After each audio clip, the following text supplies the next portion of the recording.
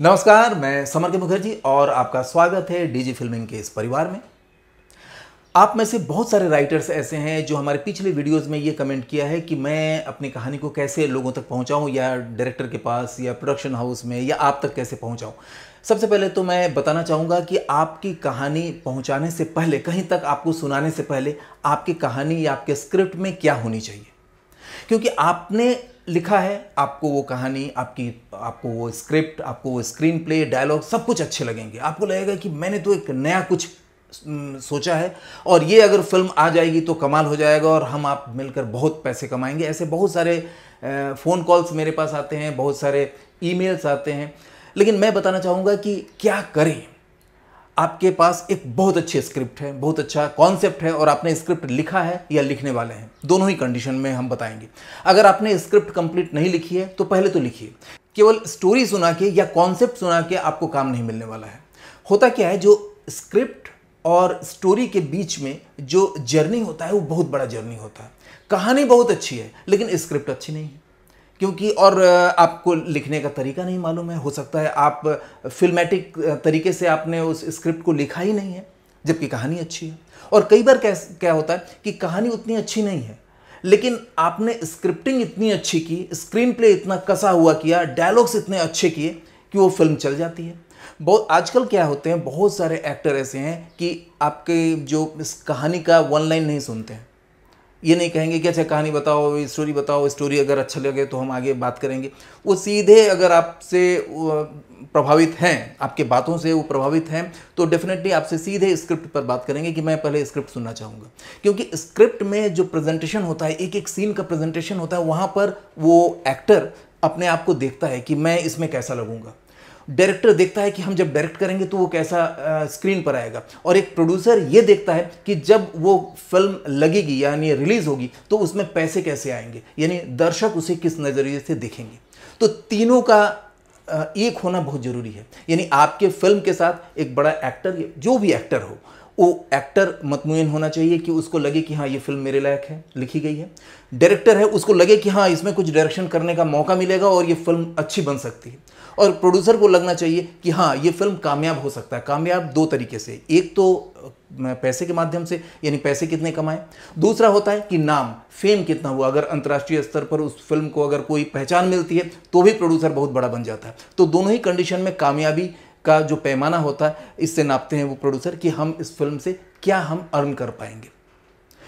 तो सबसे पहली बात कि आप फ़िल्म जो सोचे हैं, उसको स्क्रिप्ट में तब्दील करिए और वो भी प्रोफेशनल सिनेमैटिक तरीके से, क्योंकि अगर सिनेमैटिक तरीके से वो फ़िल्म नहीं लिखी गई होगी तो निश्चित जान लीजिए कि आगे जाते ही वो छट जाएगा, यानी उसको लिया नहीं जाएगा एक्सेप्ट नहीं किया जाएगा। पहले की 10 साल 20 साल पहले की बात अलग थी, जिस समय 80s या 90s के फ़िल्में लिखी जाती थी, वो पूरे नाटक की तरह लिखा जाता था। जैसे ड्रामा लिखा जाता, उस तरह से लिखा जाता था।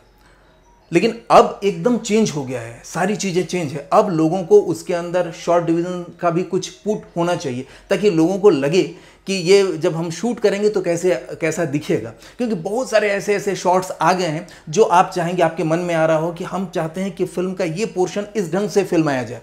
तो वो आप कैसे लिखेंगे? आपको लिखना आना चाहिए। नॉर्मली जो एक्शन पोर्शन है, जो एक्शन का मतलब है मारपीट वाला एक्शन नहीं कह रहे हैं। जो स्क्रिप्ट में जो लोग कर रहे हैं, जो भी उसमें कैरेक्टर जो काम कर रहा है तो उसको एक्शन बोलते हैं। तो एक्शन का पोर्शन जो है, बहुत ही अच्छा होना चाहिए ताकि वो आपके दिमाग में फ़िल्म की तरह उभरे। तो सबसे पहले तो आपका स्ट्रक्चर फ़िल्म का जो स्ट्रक्चर है, वो बेहतरीन बना लीजिए। अब आते हैं कि हम अप्रोच कैसे करें। देखिए अप्रोच करते ही सबसे पहले जो नए राइटर्स हैं, उनको सामना करना पड़ता है दो चीज़ों का। पहला तो उनको पता ही नहीं है कि किस नंबर पर फ़ोन करें, किस ईमेल पर ईमेल करें, या किससे जाके मिले, और मिलने जाएँ तो वो मिलेंगे कि नहीं मिलेंगे।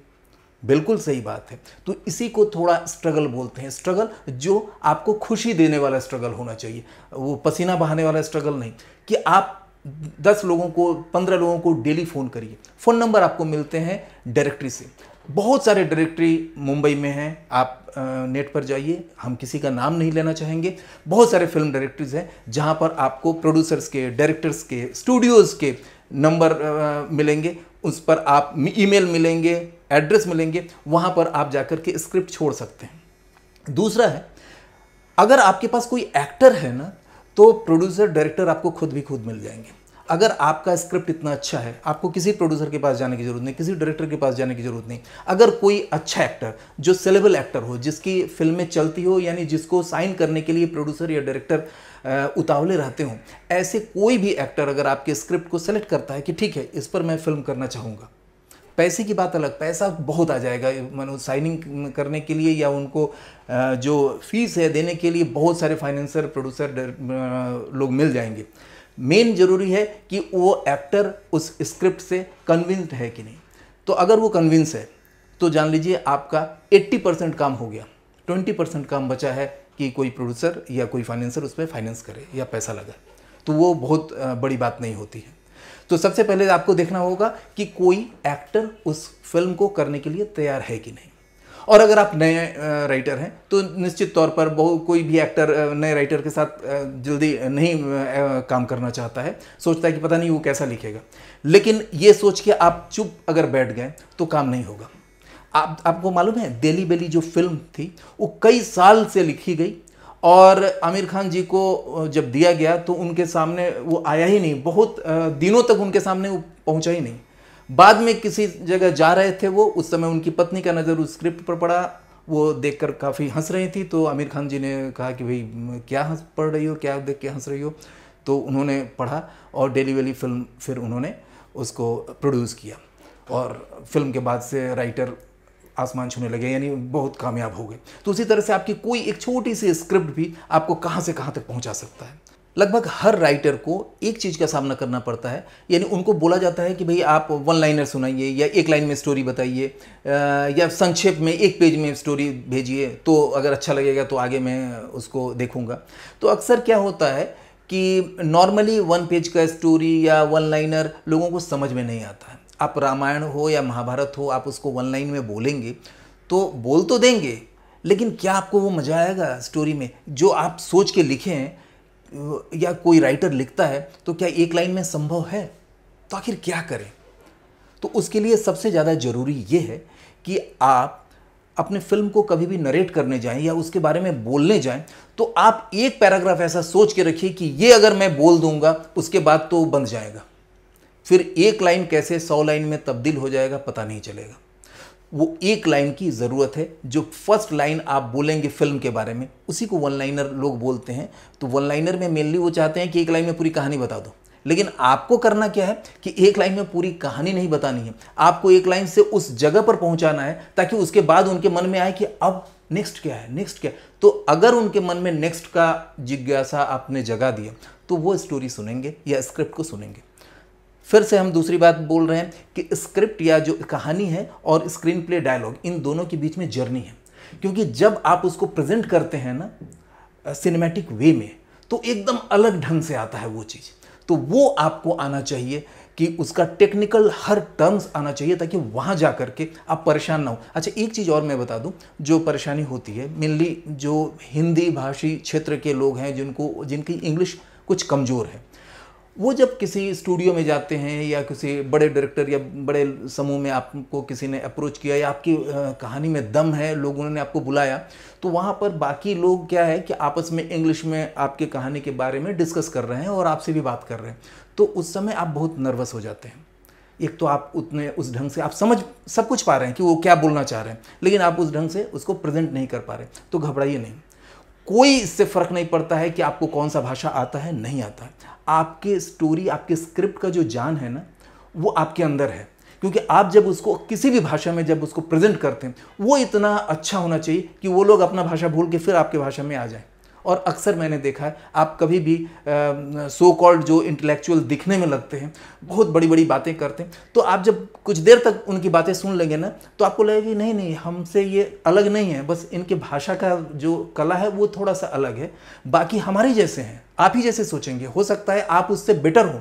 तो कभी भी इन चीज़ों से मत घबराइएगा कि आपका टोन हो सकता है, साउथ इंडिया से आए हों, बिहार से आए हों, या बंगाल से आए हों, या कहीं से तो हिंदी का भी टोन थोड़ा थोड़ा अलग होता है सबका। लेकिन आपके अंदर की जो जिस्ट है, जो आप बताना चाहते हैं स्टोरी के माध्यम से, वो अगर पावरफुल है, देखिए, आँसू का रंग नहीं होता है, चाहे आप किसी भी भाषा में बोलें तो आँसू आँसू होता है। खून का रंग लाल ही होता है। तो उसी तरह से स्क्रिप्ट में अगर दम है ना तो आपका स्क्रिप्ट हंसा सकती है, आपकी स्क्रिप्ट रुला सकती है। तो आप अपने स्क्रिप्ट पर भरोसा रखें। हाँ थोड़ा सा टाइम लगता है। कभी भी आप किसी को फ़ोन करके बार बार अप्रोच इससे पहले भी हमने वीडियो में बोला है, न करें। आप उनको भेजिए। कई बार क्या होता है स्क्रिप्ट आपने दे दिया, एक साल बाद उस स्क्रिप्ट पर नज़र पड़ी। आपका एक तो स्क्रिप्ट रजिस्टर्ड होना चाहिए और नीचे आपका फ़ोन नंबर आपका एड्रेस और बराबर ऐसा फ़ोन दीजिए जो फ़ोन आप चेंज ना करें।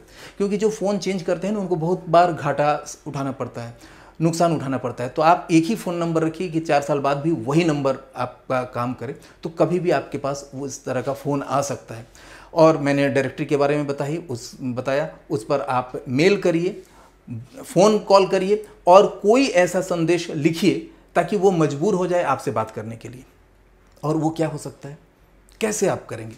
अगर उनको लग गया कि आपसे बात करके उनको फ़ायदा होने वाला है, चाहे एक्टर को हो, चाहे डायरेक्टर को हो, चाहे प्रोड्यूसर को तो डेफिनेटली वो आपको बुलाएँगे। और आपकी बात करने का शैली ऐसा होना चाहिए ताकि वो कन्विंस हो कि नहीं, इनके अंदर तो कुछ दम है, आ जाइए, मैं मिलता हूँ। तो उसके लिए हो सकता है कुछ टाइम लगे। लेकिन संभव है, ये असंभव बिल्कुल नहीं है। आप अगर अभी से प्रयास करना शुरू कर देंगे और एक चीज़ है कि स्क्रिप्ट आपकी प्रॉपर होनी चाहिए प्रॉपर वे में लिखा होना चाहिए सिनेमैटिक वे में लिखा होना चाहिए। ये स्क्रिप्ट कंप्लीट जब हो जाए तो आप अप्रोच करना शुरू कर दीजिए, निश्चित तौर पर कामयाबी मिलेगी। और कोई भी इस तरह की चीज़ें, स्क्रिप्ट से रिलेटेड कोई और जानकारी चाहिए होगा तो नीचे कमेंट बॉक्स में निश्चित तौर पर लिखिए। और अगर वीडियो आपको पसंद आया होगा तो लाइक करिए, इससे उत्साह बढ़ता है। नमस्कार।